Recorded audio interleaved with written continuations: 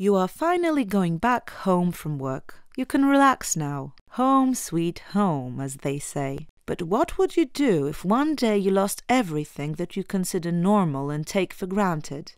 What would you do if you suddenly found yourself in a strange, unfamiliar place where temperatures by day reach 40 degrees Celsius and the earth is a hard, dry crust? You would surely get thirsty very soon. But what's this? Where's the tap with the clean cold water? No problem. You can just get a few people together and dig a well. Is something wrong? Oh, you need to go to the toilet. Unfortunately, there are no toilets here. Maybe you could build a latrine. Hmm, you don't have any construction materials or money to buy them, and you have no idea how long you'll be staying here.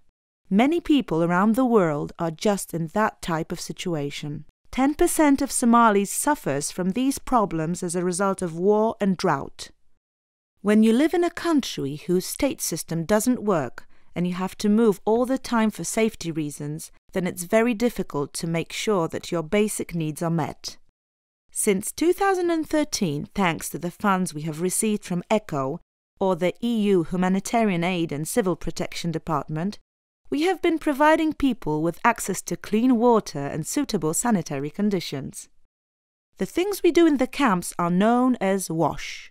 WASH is short for water, sanitation, and hygiene. Water is the most important.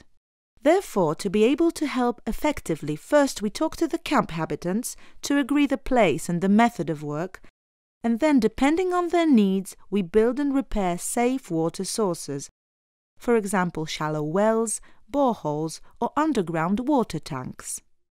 We also build sanitation facilities. Water is required not only for drinking and cooking meals, but also for hygiene and general health, just like sanitation facilities. When each day is a struggle for survival, washing hands and protecting food from insects may seem less important. That is why we educate children and adults how to observe the rules of maintaining hygiene in such difficult conditions.